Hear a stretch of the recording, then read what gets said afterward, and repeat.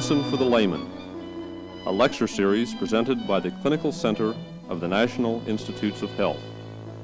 The subject of this lecture is cholesterol, diet, and heart disease.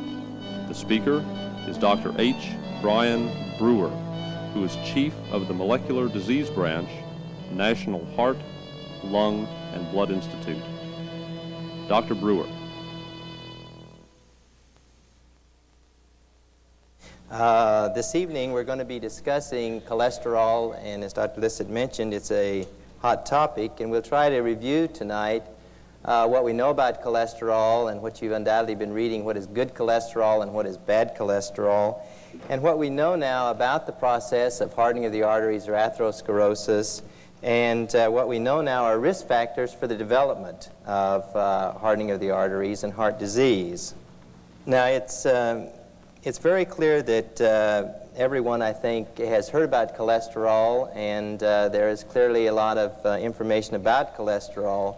But I'd like just briefly, in the beginning, to show you what cholesterol and the other major lipid triglyceride are, and some of the foods that contain them, uh, so that you can become aware of what uh, these particular lipids uh, are. This is cholesterol. cholesterol is a complex heterocyclic compound uh, as you can see here, which is present in a variety of different foods that we eat and is present in uh, the body in several different organs and in both the cell membrane of the organ and this structure, cholesterol, is also involved in many of the uh, other different uh, compounds of the body, such as the steroids from the adrenal gland and uh, the sex hormones. So this is a heterocyclic compound that is made both by the body and taken in in a variety of different foods that we eat. Now, cholesterol, which is present principally in uh, many of the uh, food products and also in uh, several of the uh, different types of meats that we eat. And normally the cholesterol in the average American's diet, which we'll come back to later on, varies somewhere between 600 and 800 milligrams per day. And if you were going to eat what people would now consider a better level of cholesterol, it's about 300 milligrams a day. Well, you can see from this list of the amount of milligrams of cholesterol that are actually in the different foodstuffs, if you have two eggs in the morning, uh, you've already exceeded what the usual amount of cholesterol that is recommended now that you would take. If you have two eggs in the morning and go out to Gino's uh, at lunch, then you're in, uh, if you start counting up the amount of uh, milligrams of cholesterol that you take in, you can see that it'll mount up very quickly, and the variety of the other foodstuffs, as you can see here, give you an idea of what amount of cholesterol that we're talking about that really can be in the diet, and particularly in a diet when one is not looking or not thinking about the amount of cholesterol that's actually in the diet. There's another uh, major lipid that we eat every day, which really hasn't received the publicity of cholesterol, and that's the triglyceride molecule and triglycerides. In reality, this is the kind of fat that you see when you're eating your steak and cutting off the fat. Uh, and this is the uh, lipid that is in your fat cells and stored in the body, and this is called triglyceride. And triglyceride is a molecule which has a backbone of glycerol, which is shown here, and then fatty acids which are attached to the triglycerides at these points. And again, there's been a lot of uh, discussions over the last uh, one or two years, and really dating back as long as 10 to 15 years ago, about the type of fatty acids that we're eating, that is polyunsaturated versus saturated fatty acids. And these are the fatty acids that are attached onto, for example, these triglyceride molecules. Again, if you consider how much fat that we take in in the form of triglyceride, uh, most Americans are taking anywhere from uh, 60, let's say 80 grams of fat per day in their diet.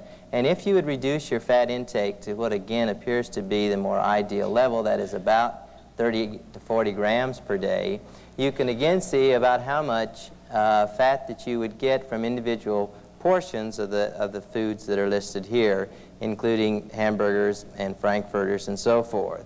So if you go to uh, McDonald's and get two eggs in the morning, and you go to Gino's at uh, lunch, and then at Roy Rogers on the way home, uh, you can see that the amount of lipid that you can take in in a given day uh, can be uh, really quite high. and as you, I think, all know, that the amount of uh, fat intake that, and cholesterol that uh, the average American takes in is really uh, enormous compared to other countries, and we'll come back to it. Some countries are higher, and it appears to correlate with the degree of cardiovascular disease that uh, these different populations have.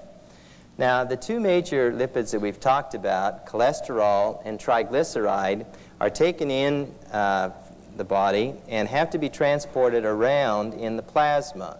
Now, neither one of these two lipids, that is, either the cholesterol or the triglycerides, are soluble in the plasma or serum or in the blood. And so they have to be transported around in what we've shown here as a boat. So they have to have a vehicle to transport our friends now, cholesterol and triglyceride, around in the plasma to transport them to the various sites where they're going to be utilized. The boat here has a protein, which is another component, and this uh, boat, which is made up of these four components, is called a lipoprotein. So the cholesterol and triglyceride are not free in the plasma, but are transported around in the form of boats which carry them, and these boats are called lipoproteins. And the protein moiety here is shown to be the captain, and it's directing the lipoprotein to go to the various different tissues uh, so that the cholesterol and triglyceride can be transported uh, around to the different sites which they'll be utilized. Now, if you would take and, and uh, take a sample of blood from an individual and then look at the uh, blood under a powerful microscope or by electron microscopy, what you would see is a collection of particles, and these are our boats. These are a variety of different sized particles, which are lipoproteins, which range from molecules that are almost a thousand angstroms to ones that are very small. And we have a polydispersed collection of the plasma lipoproteins that are circulating around with the major lipids, cholesterol and triglyceride, being transported to different sizes and uh, sites in the body. Now, with this uh, different polydispersed collection of lipoproteins, we can begin to separate this group of lipoproteins, and one method to do that is to separate them by their size, and as you can see, they're really quite heterogeneous in size. And so if we separate them by their size and hydrated density, we see that there are basically four different types of lipoproteins that we have in the plasma. Uh, there are groups of particles which are large, the largest particles that you saw, which are termed chylomicrons. The next largest group of particles are called very low density lipoproteins, or VLDL. The next group of particles are low density lipoproteins, or LDL, and the smallest group of particles are called high density lipoproteins, or HDL. Now, if, as I'm sure that several of you have done over the years, someone measures your plasma triglycerides or measures your cholesterol, what they're measuring is the cholesterol moiety, which is shown here in yellow, on all of these different particles. And the triglyceride, again, is measured on this particle and this particle. When you, when you measure the triglyceride level in the plasma, so you're measuring all of the particles and the two lipids, the cholesterol and triglyceride, that are in the four different boats that are going around in plasma. Now, in general, approximately 75% of the cholesterol in the plasma is attached to, to the low-density lipoproteins. Approximately 15% is attached to the high-density lipoproteins, and the other 10 to 12% are attached to the chylomicrons and very low-density lipoproteins.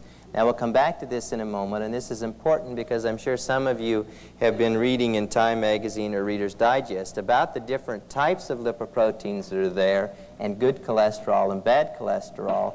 And it relates to the cholesterol that's on these different groups of lipoprotein particles.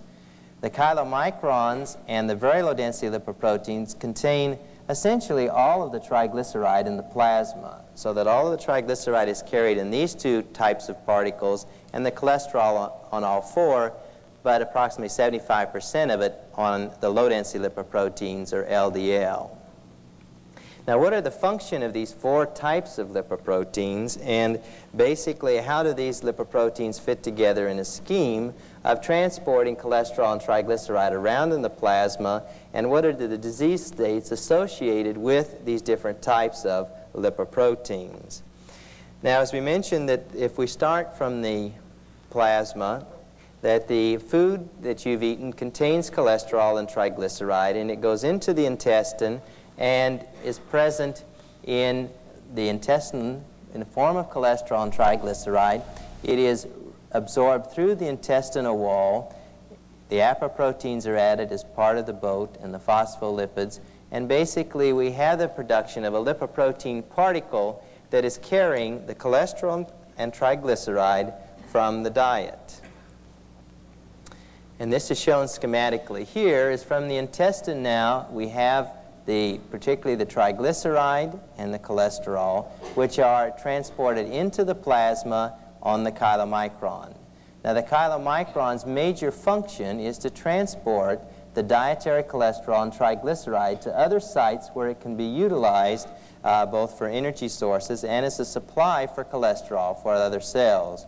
So this is one of the first uh, of the, the particles that we'll now discuss, and that's the chylomicron so that after you've eaten a meal at about three to four hours later, you get a large increase in the amount of chylomicrons in your plasma. And actually, if you would draw a plasma sample at that time, you can see that it's cloudy. And it's cloudy because of these very large particles that are transporting the dietary cholesterol and triglyceride uh, into the body. The body can also make cholesterol and triglyceride. It gets a certain percent from outside of the body and a certain percent from the inside of the body. And one of the major sites of synthesis in the body for cholesterol and triglyceride is the liver, shown schematically here. And so that the liver also makes particles, which are very similar, as we've seen, to the chylomicron and the very low density lipoproteins, both of these containing a large amount of triglyceride and some cholesterol. So that the function of the very low density lipoproteins is the transport of endogenous cholesterol and triglyceride as the chylomicrons are transporting exogenous or the foodstuff cholesterol and triglyceride uh, that we've eaten. Now these two groups of particles contain a large amount of triglyceride as we've seen and a certain amount of cholesterol and these boats circulate around in plasma and at the point uh, and at the point, uh, if you now look at what happens as you go around in the plasma, basically we have an enzyme which is called lipoprotein lipase. And this enzyme is able to metabolize the triglyceride and to cleave off the fatty acids from the triglyceride. And basically we have a metabolism of the lipoproteins where these particles were large particles containing a lot of triglycerides where they undergo metabolism, where they lose their triglyceride, and you have a formation of what is called IDL, or the intermediate density lipoprotein, finally to the low density lipoprotein, or LDL. Now, the fatty acids that are metabolized off of the triglycerides by the enzyme lipase can be utilized for energy, or they can also be resynthesized in fat cells to be stored as energy in the form of uh, uh, fat in the peripheral cells. This enzyme, li uh, lipoprotein lipase, is attached to, on the wall of the uh, blood vessels so that this metabolism where you have triglycerides being cleaved off of these particles gradually uh, makes a particle smaller and smaller and you have basically transported the triglycerides around to the body and utilized then them as an energy source and also as a storage for energy uh, in the rest of the body. Now the cholesterol is still in the same boat. It hasn't jumped out like the triglyceride has, and as it goes down this cascade from VLDL to IDL, the LDL cholesterol is now in the low-density lipoproteins, or LDL, and as you saw in one of the earlier slides, that the major lipid in the low-density lipoproteins in terms of cholesterol and triglyceride is the cholesterol. Now the cholesterol, uh, which is in the form of LDL, then is gradually taken up in the peripheral cells, such as the blood vessel wall, uh, the smooth muscle cell, the fibroblast, the muscle cells, and a variety of other cells in the body. And what the low-density lipoprotein does is supply the cholesterol for the cells so that they do not have to make their own cholesterol. So we've gone down a cascade where we have had a cycle from the liver transporting the cholesterol through this system to the peripheral cell, and the peripheral cell uses the cholesterol for making membranes, other functions that it has, and doesn't have to make its own endogenous cholesterol in the peripheral cell. So it acts as a storage uh, during the process here that is being transported, and then LDL is metabolized, uh, as shown here. Now you can see in this uh, pattern of uh, cascade from VLDL to LDL that basically it's going in one direction. That is, we're putting cholesterol in, for example, a cell in the wall of a blood vessel. So that we have now, uh, through a variety of different experiments in a variety of different labs around the country, identified that the cholesterol is being added to the peripheral cell by the low-density lipoproteins. As you can see, we've got one half of a cycle here, and it is now, as a result of a large number of studies, become clear that at least one role for the high-density lipoproteins may be to transport the cholesterol from the cell back to the liver so that you have a pool of cholesterol uh, that's in the cell and we have the high-density lipoproteins which then transport the cholesterol back to the liver because the liver is the only organ that we know of thus far that can really get rid of the cholesterol. So what we have now is a cycle where we have cholesterol being taken to the peripheral cell, and one of the functions now postulated for HDL is to take the cholesterol back from the peripheral cell to the liver where you can get rid of the cholesterol. And with this system, now I think it will become clear of what uh, individuals have now been uh, talking about in terms of good cholesterol and bad cholesterol. Good cholesterol is a cholesterol that is attached to the high-density lipoproteins that's basically coming in this portion of the cycle, taking the cholesterol out of the cell back to the liver where it can then uh, be uh, taken out of the body. The cholesterol that's bad cholesterol is a cholesterol associated with the low-density lipoproteins, which is putting cholesterol basically into the cell. And this is the, uh, the cholesterol that was uh, riding on the uh, black horse in the article in the Reader's Digest, and this is the cholesterol that's riding on the white horse in terms of HDL.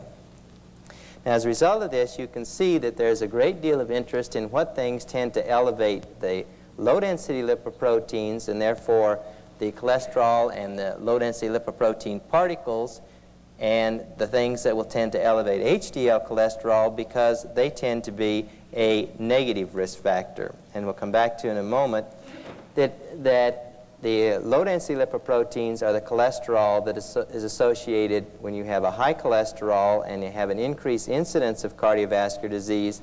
This is a positive risk factor, whereas elevations of HDL cholesterol have now been shown to be a negative risk factor, and we'll return to this in a moment. Now that we've briefly reviewed the lipoproteins and the lipoprotein particles uh, that uh, are transporting the cholesterol and triglyceride, the question is what happens when this system does not work appropriately and we have basically cardiovascular disease, or uh, there are several names for it, atherosclerosis, arteriosclerosis, or hardening of the arteries. These are processes which uh, are well known, I think, to everyone and are associated as a major cause of cardiovascular disease in the American population, and that and cancer represent one of the major causes of death uh, uh, in this country as well as around the world. Now, what really is going on uh, with atherosclerosis and what really is the process? If this is a normal artery that's shown here on the left, basically there, this is a nice uh, division or bifurcation of the artery, and there's no impedance to blood flow uh, as the blood goes along the artery. In an artery that has atherosclerosis or hardening of the arteries, basically you have a narrowing of the artery, as shown here, in which there is a gradual narrowing of the artery where there is a decreased amount of blood flow that, that can go through a given artery. And the, and the cells in this artery are filled with cholesterol. And if we now take and look at a uh, side of what would be happening in the artery, we see that this is a normal artery here. In an artery with atherosclerosis, or hardening of the arteries, it gradually gets, gets filled with cholesterol-laden cells. Some cells die, and the reason that it's called hardening of the arteries is that you actually get calcium deposits in the cholesterol-rich area uh, in the vessel so that it actually becomes calcified very much like bone. And that's where the term hardening of the arteries uh, came from, or calcium in the arteries. You have a breakdown of this uh, vessel so that a lot of the lipoproteins which are in the plasma come through here. You have an increase in the number of cells, particularly the smooth muscle cells that line the wall of the blood vessel. And you have a lot of scar tissue that can form. So the effect of atherosclerosis is to gradually narrow the artery and to impede the blood flow. Now, I'm going to show you a series of slides which will put the process of atherosclerosis in basically what happens in a period of probably, in normal man, over a period of about 20 years. And this is a normal artery. This is a coronary artery, one of the arteries that supplies the heart with its blood supply. And it's important to note that atherosclerosis does not have one single cause, but has a variety of different causes, and several different disease processes end up with atherosclerosis. And the other important point is that atherosclerosis takes a long time. It's a process that goes on for years, and I think as probably several of you have read, when they looked at the uh, at autopsies of Korean War veterans um, which uh, had been killed in action, and they found that approximately of those American soldiers, approximately 30% of them had a 15% narrowing of, this, uh, of their arteries, their coronary arteries, and their average age was 22. So this is a process that takes years to develop and gradually will uh, accumulate in the narrowing of the artery. And so as this artery gradually now begins to fill up with the process of atherosclerosis, it, you begin to get calcium deposits, scar tissue in here, and the artery gradually begins narrowed. This process continues over the years, and the artery begins again more and more compromised in its ability to carry blood flow through the artery to the point that you see that it is a completely occluded so that you basically have very little blood flow, only this tiny rim is carrying now blood through this coronary artery. So with the process of atherosclerosis, you've had a gradual narrowing of the arteries, and this process, which takes several years, gives you symptoms in the areas where the artery has been narrowed. So if we look at four major sites where the arteries may get narrowed, of which undoubtedly several of you have uh, uh, heard of individuals that have had the various problems. You can have narrowing of the arteries connected with the heart. You can have narrowing by the process of atherosclerosis of arteries leading to the brain, and also narrowing of the artery in the leg. And if we now look at the heart, basically the heart has a series of blood vessels which supply its blood supply to the heart just like any other muscle has. And the heart really is just a typical muscle that requires a blood supply and is dependent upon that blood supply even though it itself is pumping the blood around the body. So these are the two major coronary arteries that are shown here that are supplying the blood to the heart.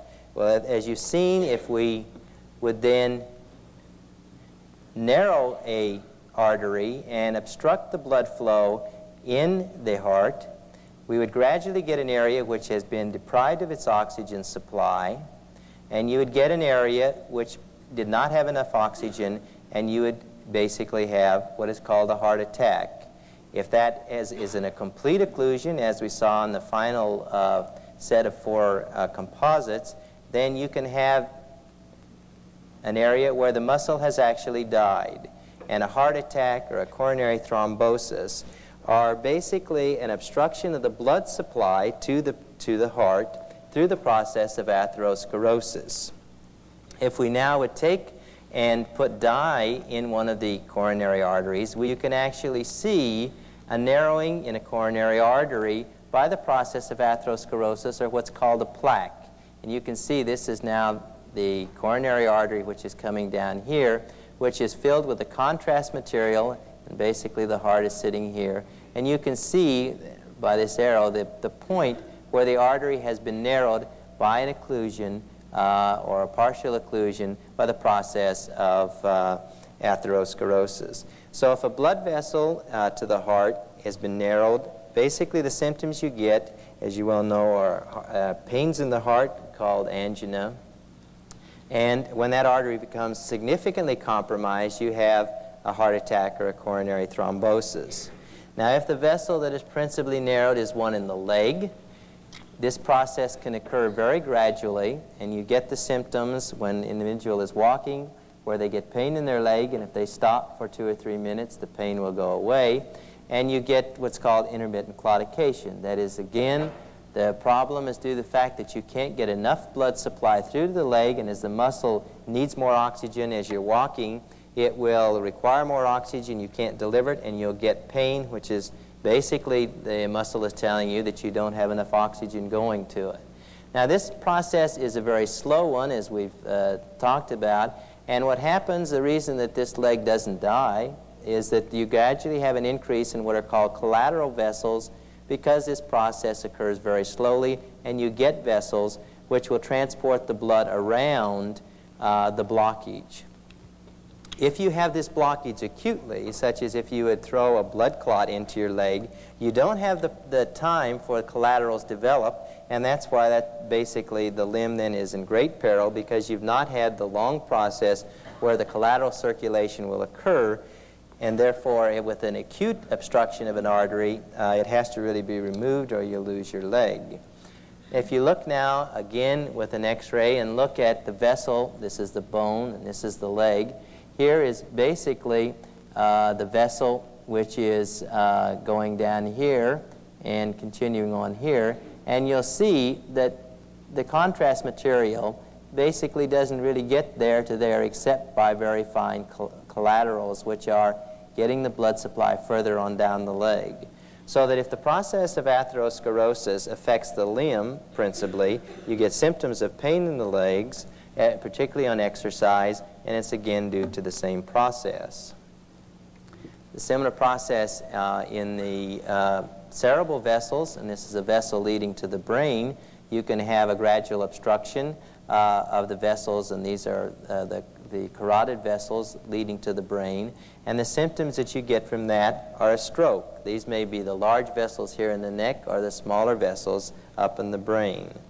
Again, if you look at an x-ray, and you can see at this point right here that there's a significant uh, obstruction right here where this vessel should be going right out here. Again, you have a significant narrowing of the vessel at this point in uh, the arteries which are leading uh, to the brain. So the process of atherosclerosis is a generalized one. There may be more symptoms related to the heart in one individual or symptoms related to the leg or to the brain in another individual. But basically the process is the same and the symptoms really relate to the artery and what it's supplying of what symptoms the individual will mention. Well, this has really taken us now through a, a large number of different studies uh, over the years, which have really delineated the process of atherosclerosis and the symptoms that you get. And obviously, it's become a very important question over the years, is can we pick out as individuals or in groups of individuals types of things which will increase the risk of developing cardiovascular disease in the form of atherosclerosis? That is, are there risk factors for the development of atherosclerosis so that you have uh, those particular risk factors, your chances of developing cardiovascular disease are greater than individuals uh, who don't have the risk factors. And there's really two parts to this question. One is, can we identify the risk factors? And second is, if we change those risk factors, can we clearly change the chances of a given individual of having, let's say, a heart attack uh, if we change the risk factors. Now, a lot of different studies over the years have, have now clearly delineated that if you take a group of individuals and look at individuals that have premature cardiovascular disease, and premature is individuals who have heart attacks before the ages of, let's say, 64, 65. Many individuals will have heart attacks uh, uh, in their 40s, and I'm sure that you're all aware of the executive type who didn't, has been getting along without any problems and has a heart attack at age 45. And basically, a number of studies uh, in a number of different centers across the country have identified now three risk factors which are clearly associated with the development of cardiovascular disease at an earlier age than people normally get cardiovascular disease, since it is a disease in many ways of old age that everyone gets it after a period of time. But the question is, how soon do you get it? The three risk factors that have now been identified are shown here. One is the cholesterol level in the plasma. And it's important in actually all three of these risk factors to note on the vertical axis is the incidence of cardiovascular disease per uh, 100,000 population. That it is a graded risk factor, that there's no such thing as having one level where you're okay, and when you step over a magic line, that you have a high cholesterol and therefore have a greater risk. But this is a gradual increase in risk as your cholesterol goes uh, higher and higher. The same is true of the second major risk factor, and that's blood pressure. Again, your blood pressure is not normal or abnormal, but your incidence of cardiovascular disease gradually increases as a function of how high the, uh, your blood pressure becomes. Again, smoking, I think there's been a lot of publicity, uh, particularly in relationship to cigarette smoking and lung disease, but smoking is a very potent risk factor also for the development of cardiovascular disease. And just as it is in terms of the uh, risk of developing uh, lung tumors with the, the, the amount that you smoke, also that's true for the development of cardiovascular disease as a function of smoking. So we basically have three major risk factors now, which can clearly be identified that individuals that have these have a higher incidence of cardiovascular disease than those who do not have them, and that they're graded risk factors. Now, as we've reviewed, for years it was thought that, that uh, the cholesterol level was basically uh, a cholesterol uh, factor which was always a negative one. And if the highest cholesterol that you get, the higher cholesterol, the more and more of a risk that you have for the plasma cholesterol. And this is particularly true, as we now have reviewed, for the LDL cholesterol. So that if you have a higher and higher level of LDL cholesterol, you will have a greater chance of developing cardiovascular disease. On the other side of the coin is the HDL cholesterol. The higher the HDL cholesterol in epidemiological studies have, have suggested that HDL cholesterol in this sense is a negative risk factor, and the higher your HDL is, the less cardiovascular disease that you have. And you really have now the extremes of LDL and HDL, individuals who have a disease called familial hypercholesterolemia and have very high levels of cholesterol and cholesterol levels that range between 800 and 1,000 will have heart attacks when they're 10, 12, or 14 years of age. Individuals who have high levels of HDL cholesterol, which are called now long livers, uh, have uh, a syndrome which appears to be a longevity syndrome where they're octogenarians and they have high levels of HDL cholesterol and they appear to be protected from cardiovascular disease, at least as, as appears to be associated with this risk factor. So it becomes apparent now that before an individual who has a cholesterol level before he decides what he should do with that, it's now important to know whether the cholesterol level is attached to the LDL lipoproteins or the HDL lipoprotein. As you might uh, have anticipated that there is an enormous amount of work uh, going on at the NIH and several other laboratories around the country to try to figure out how we can raise HDL in individuals. Women have a higher level of HDL than men do. And, this, uh, and they are protected against cardiovascular disease until the menopause. And they also have higher levels of HDL cholesterol than men do. So that uh, the HDL cholesterol has been uh, the point of interest now a variety of laboratories because uh, as drugs can now begin to control LDL and HDL cholesterols, we must distinguish between the two since one appears now to be a positive risk factor, whereas the other appears to be a negative risk factor. Now, the three major risk factors as we've delineated is an elevated serum cholesterol, and particularly now LDL cholesterol, elevated blood pressure, and cigarette smoking. If you're an average 45 or 50 year old man and, and smokes one pack of cigarettes a day, has elevated blood pressure, is defined as having a systolic and diastolic above 140 over 90, and has a cholesterol level that's greater than 250, you have a nine times greater chance of developing a heart attack than someone who doesn't have those three risk factors. If you have a upper limit of normal of blood pressure, an upper limit of normal of cholesterol, and smoke a pack of cigarettes a day or more, you have a five times risk of developing cardiovascular disease. So that the major question that obviously has been addressed by a large number of people is can we change these risk factors and therefore change a, an individual's chance of developing cardiovascular disease? Now, the elevated serum cholesterol has, a, has attracted a great deal of attention, I think, as you're all aware, and has become a very hot topic, both now that we've learned there's, quote, good and bad cholesterol, and also what is the effect of cholesterol, as this uh, portly individual shows here eating his ice cream cone. The question is, will lowering of cholesterol in an individual at a point in time affect the possibility of his development of cardiovascular disease? We now have drugs and diets that will clearly lower cholesterol, but will it do uh, a given individual any good? And that's a question that is still a major one and a, a question that still has a great deal of controversy uh, surrounding it. I think as we've reviewed now, you'll see that uh, since this is a long-term process, number one, and two, that there may be multiple causes for the development of atherosclerosis. Whether you change one risk factor, will you significantly change it?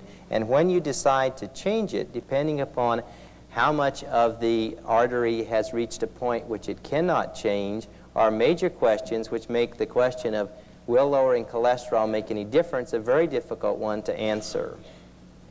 Now, the evidence that is available is really uh, incomplete, but in two general areas. One is studies related to the human, and other are experimental studies. It's very clear in, from an epidemiology point of view that certain uh, groups around the world have a great deal more cardiovascular disease than other groups. For example, people in Finland who have uh, one of the highest intakes of saturated fats and cholesterol have a very high level of cardiovascular disease as compared to Japanese individuals who only have about 10% the level of uh, cardiovascular disease in terms of myocardial infarctions as the Finnish individuals, and their cholesterol levels are 140 versus roughly about 280 for the two populations. So as you go around the world, you can see different areas which have different dietary intakes, which clearly have different incidences of cardiovascular disease. And a particularly interesting study was done where they took Japanese individuals and looked at them as they basically became more westernized, living in Hawaii and then on the west coast. Their diets changed, their cholesterol and fat intake increased, and their incidence of cardiovascular disease became more and more like the individuals uh, in the United States, that their level of cardiovascular disease clearly increases as at least their dietary uh, changes occurred. The second level of investigation uh, of changing cholesterol levels and saying basically will it change the incidence of cardiovascular disease are now a few studies which have been done on individuals with uh, the familial hypercholesterolemia. As I mentioned, those are the ones that have cholesterol as high as 800 to 1,000. They have had their, their cholesterols lowered, and studies done in England and in uh, Colorado uh, would suggest by using coronary arteriography that with the lowering of cholesterol and using the criterion of changes in the uh, degree of narrowing of coronary arteries as studied by coronary angiography, that the vessels become less narrowed after a prolonged period of time uh, in which the cholesterol uh, level is low. The third series of studies are really related to animal studies, and animal studies in which they have taken, in this case, um, monkeys, given them a very high cholesterol and fat diet, in this case for 17 months. And this is a picture uh, which now I think you're familiar with, and this is a coronary artery that is significantly narrowed with the process of atherosclerosis.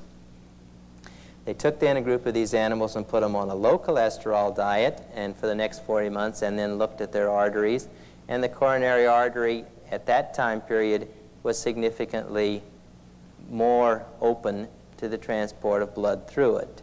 If they took an artery and looked at it in terms of one of the leg arteries, again, it was very severely occluded after the high cholesterol diet. And after putting them on the lower cholesterol diet, again, the level of um, opening appeared to be significantly greater. But I think this is still a major area of controversy whether diet will in fact change the incidence of a given individual if he changes his diet. And I think right now the NIH is supporting several studies uh, both in the intramural program and around the country to basically answer this question. But it's going to take years before we can really come up with a definitive answer, and it will be very difficult, as you can see, because of the multifactorial cause of atherosclerosis and the narrowing, and also the long period of time that the disease takes uh, to develop. The second risk factor is elevated blood pressure, and what can a given individual do to change uh, his blood pressure if indeed he does have elevated blood pressure? Well, elevated blood pressure is somewhat easier in that the individual who has high blood pressure, the drugs are very effective for lowering blood pressure. And again, the dietary changes can be significant.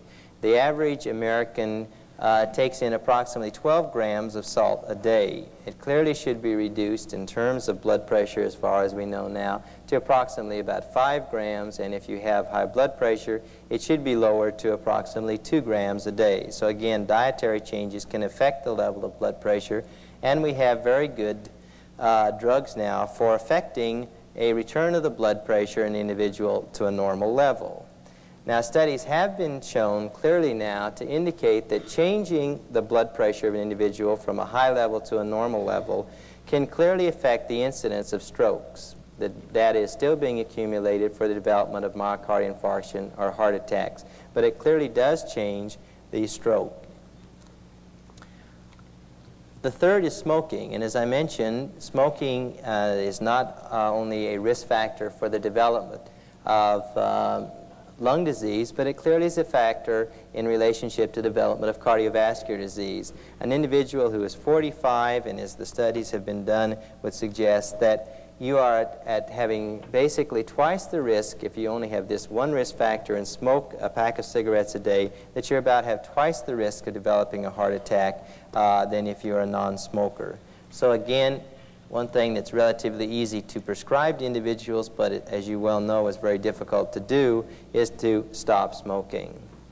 So that those three major risk factors, we can clearly take a positive approach as an individual to change them, and the Clearly, the data is as yet not clear whether or not we will totally change the development of a given individual, his chances of cardiovascular disease.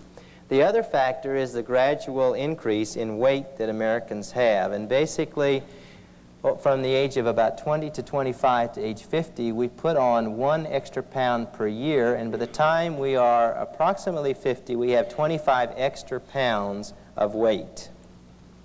So as this individual shows, he's eating his ice cream cone and has high cholesterol and indeed is not, does not have ideal body weight. And clearly the average American uh, needs to watch the calories and also not only to change what he's eating from all the information we have, but also develop an exercise program so that uh, you will have uh, return to the ideal body weight and get rid of the 25 pounds that you've picked up from 25 to 50. And instead of watching the world go by, you clearly should get in the point where you are jogging like the other people are on the highways and develop an exercise program not only to uh, change your weight to the ideal body weight, but you also get an increase in your HDL cholesterol and it lowers the, the triglycerides and it helps maintain ideal body weight. So you have to basically uh, develop a program where the ideal body weight of the individual is established and maintained. Individuals who are uh, obese clearly have, it's more work for the heart, it's harder to control blood glucose, your lipids are higher, and with a program of appropriate caloric restriction and changing the diet to a cholesterol diet, as we saw on the first slide, of approximately 300 milligrams eh, uh, per day, and having the fat content be approximately a third of the calories, and developing an exercise program, you can lower the lipids. You clearly will make it easier uh, to control blood glucose problems, which become more and more a problem as an individual gets lower. You will lower the triglycerides, and you will raise the HDL level. When this was done in a series of physicians at Stanford, and they looked at the levels of HDL cholesterol, since it's now a negative risk factor for the development of cardiovascular disease, and compared them to individuals who are not exercising, the runners had a significant, in all age groups, higher level of HDL cholesterol on the average it was 64 as compared to 43 uh, for the control individuals which were not exercising. So it's become clear now over the last few years that we can identify three major risk factors and it has become clear that we have drugs to lower cholesterol, we have drugs to lower uh, blood pressure, and we can clearly now uh, suggest that uh, changing from uh, being a smoking individual to a non-smoking individual uh, can clearly, at this point in time, be very suggestive that we will have a major reduction in the incidence of cardiovascular disease as we begin to accumulate more and more data related to these risk factors. But I think as individuals, one can see that the evidence is strong in support, uh, particularly at an early age, if these uh, three risk factors are identified and corrected, that there may be much less cardiovascular disease in the future. Thank you.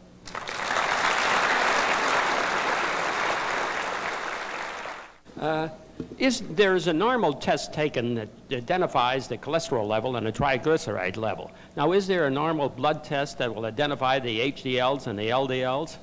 Yeah, uh, basically it's, it's just a somewhat more sophisticated study which is now being done in a lot of laboratories where they take the blood sample and they will get the total cholesterol and they will also now do the cholesterol on LDL and HDL.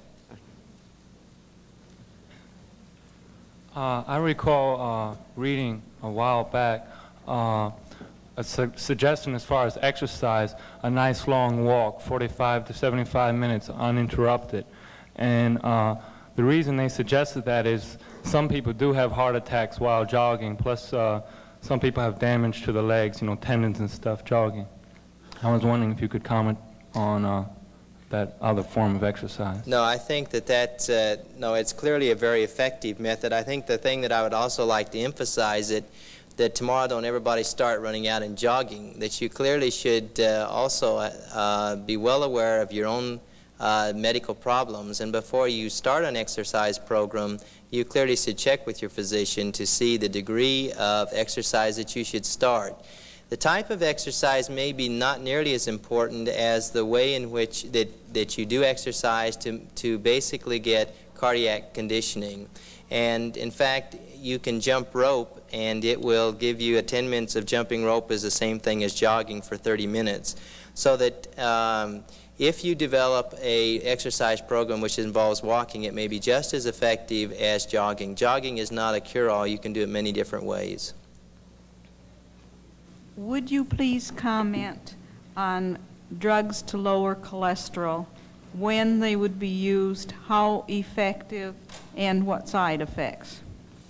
Certainly. Um, I think that they're to be used only after dietary manipulations.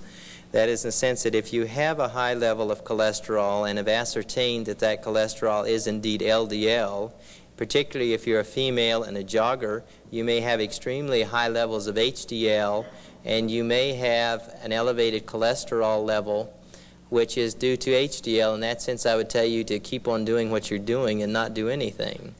If you indeed have elevated cholesterol levels in the form of LDL, then I think that the dietary treatment is the initial dietary treatment, uh, should be the first line of, of therapy for that given individual.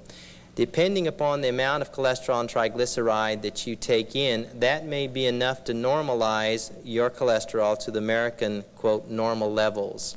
If it doesn't on a period of, let's say, for example, two months on a cholesterol diet where you're at ideal body weight with low cholesterol and in fact do have still an elevation of cholesterol, then I think the, the type of drugs that can be used are uh, really there are three major drugs that are currently employed for lowering cholesterol.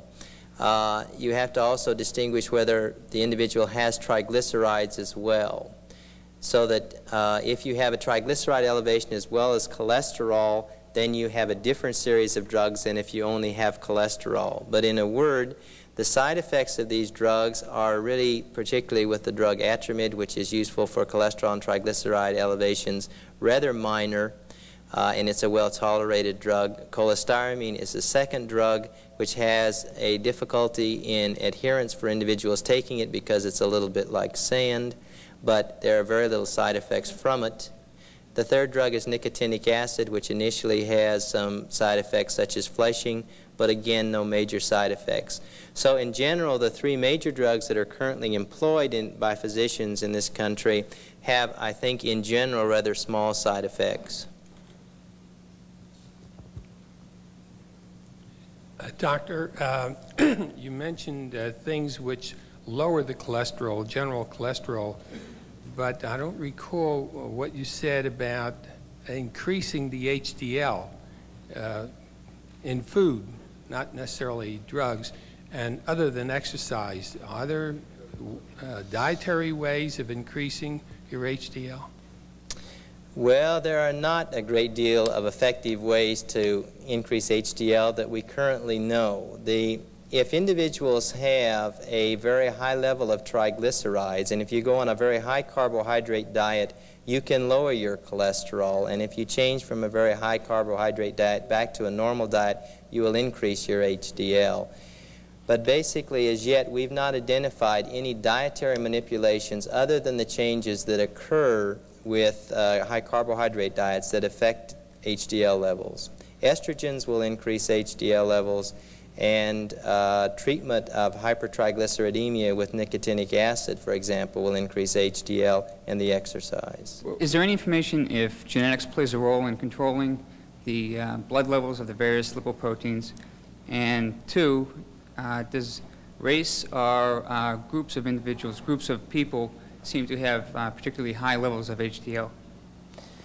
The answer to your first question is certainly yes. That of the types of high cholesterol levels, that is particularly high LDL cholesterols, uh, the genetics is probably uh, a major factor. Individuals who have what is called familial hypercholesterolemia are not a small segment of our population. In studies that have been done at several centers around the country, people have one defective gene for a high level of cholesterol or, or are heterozygous for that condition, and they are between 1 and 400 and 1, uh, 1 out of 500 live births per year. So that there is a large number of individuals who will have genetically determined hyperlipidemia. That's only one form of genetically determined hyperlipidemia, and even a more common one is called combined hyperlipidemia, which again, the two incidents of that is not as yet known. But Clearly, the genes uh, play a major role, just as the genes for high levels of HDL. If you can pick your parents for a high level of HDL, you obviously uh, can make a very uh, astute uh, selection. There are clearly groups of people who have high levels of HDL. In the uh, Georgian area of the Soviet Union, there are people who, quote, have high levels of HDL, uh, or they're long livers, basically, and they can have uh, what is now maybe more important than just the HDL and LDL level, but it may be the ratio between the LDL and HDL level. So that there are clearly tribes uh, which also do a lot of running, which may uh, help the HDL in the area of Jamaica which have high levels of HDL, and again they have what appeared to be a longevity syndrome. The Eskimos who eat all that blubber and continue to thrive without much of a problem also have high levels of HDL for whatever reason. There seems to be greater emphasis placed on uh, cholesterol than on the triglyceride factor. Uh, what is, can you comment on the relative significance or importance of these two? Oh, I think that uh, overall it's very clear that as a risk factor that the high levels of, of cholesterol and particularly LDL cholesterol are clearly a much more potent risk factor than uh, the triglycerides are.